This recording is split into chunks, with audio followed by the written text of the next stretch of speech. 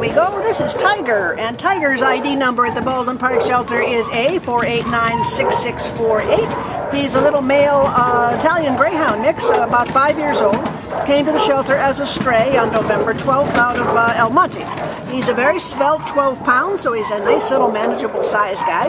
And the one thing for sure we know about him is that he bonds instantly. He came to Kim here and now he just doesn't want to leave. He's, he's very comfortable, thank you.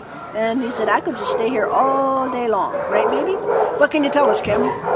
Well, he walks well on a leash. Okay. But he doesn't show signs of being housebroken. Not yet. He gets along with other dogs, uh, so he's, he shares his kid. He actually shares his kid with a puppy. So, Oh. so the puppy is very energetic. Oh, yeah, really? Oh, he's a sweet pe- Look at that nice face.